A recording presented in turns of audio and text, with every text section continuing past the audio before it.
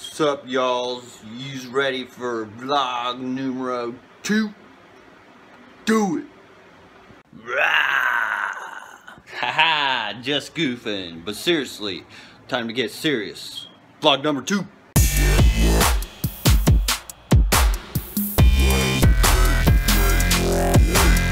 Some orders in this week. Got some potassium sulfate, some monopotassium phosphate, potassium nitrate, and some Plantex CSM plus B.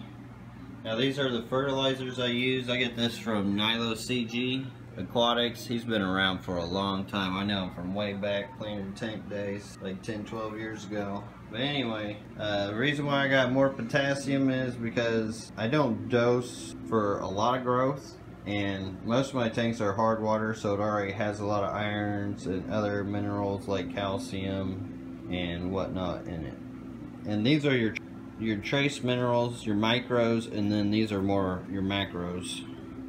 But fertilization that's a whole nother video that can that could go on for a lot longer. So I'll do that eventually here one of these days soon then I also got some CaribSea, some Eco Complete.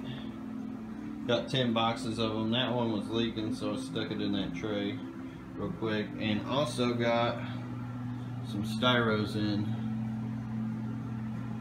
And that's what it's like to get a order of styros. And there's really not that many in there.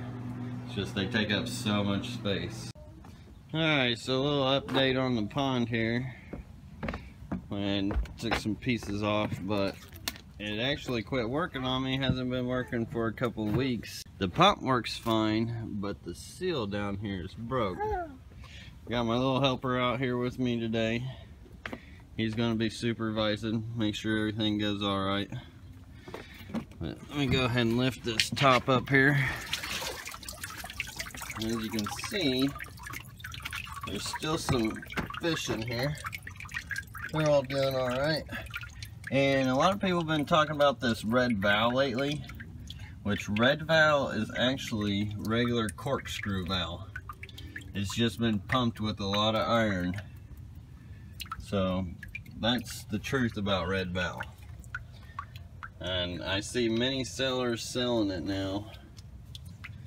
But anyways, getting back to this, the seal on the bottom has actually gone bad so I'm gonna have to take all that silicone off and reseal it. And the reason, hey mister, don't throw rocks in there.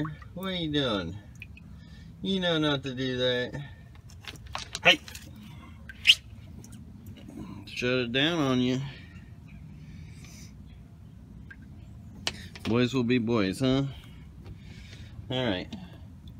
But yeah, I've got to uh, take that silicone off. And the reason why I know is because the water level is behind, below that tube. Hey, quit, mister. You go inside. How's that for a red val? So-called red val. Almost doesn't even look real.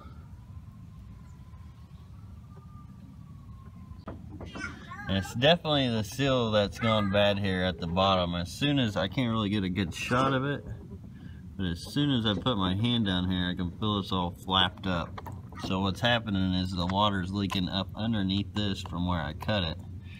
And therefore draining all the water out and lowering it to where the pump doesn't work. So I'm just gonna have to pull all this out.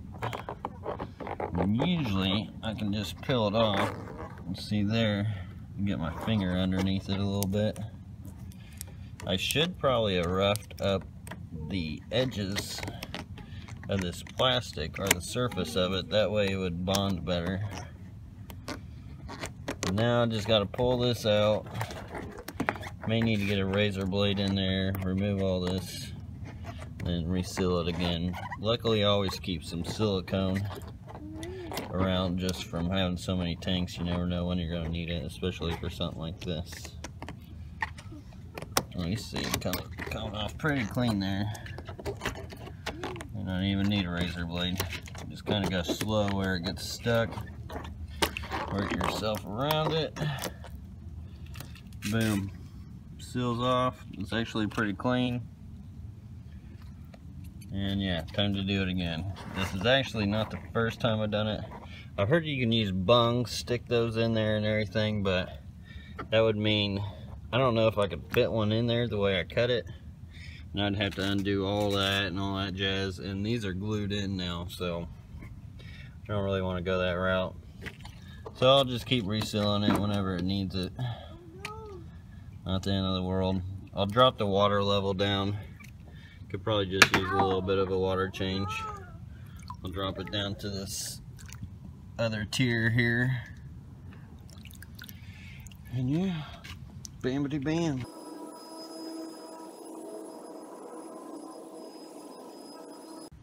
Alright, water level has been dropped. Now I got a dry surface here. Well, somewhat dry. That way, if any of the silicone does get in the water, it won't really be in the water. Take some paper towel and dry that up.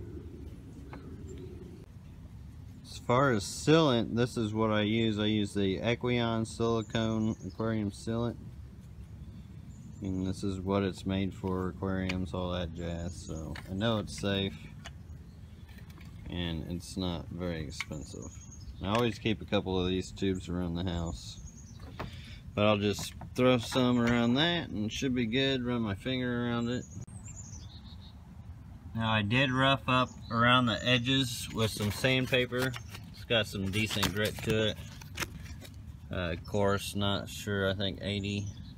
May have another number in front of it, can't remember.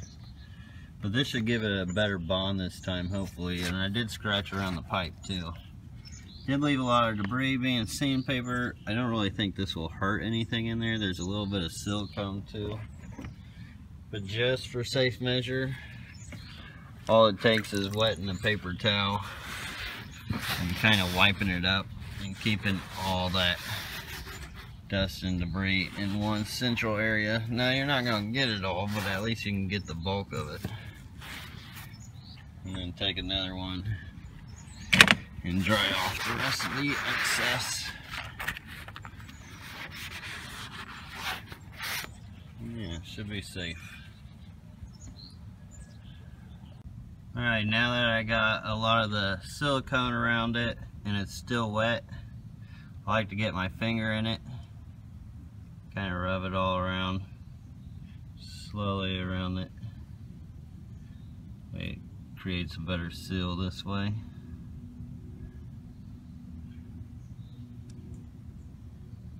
kind of flatten out the end parts here.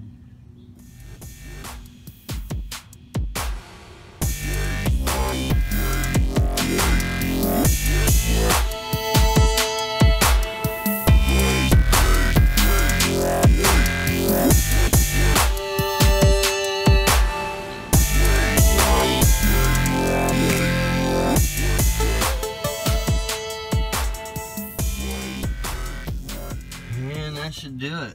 So it's all sealed back up. Scratched it up a little more than I probably should have. Got a little overzealous, I guess.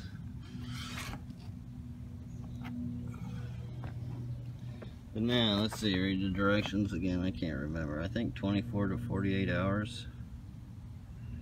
Read the directions again. I can't remember. I think 24 to 24 hours. Let's find it here. Uh, 24 hours can be trimmed.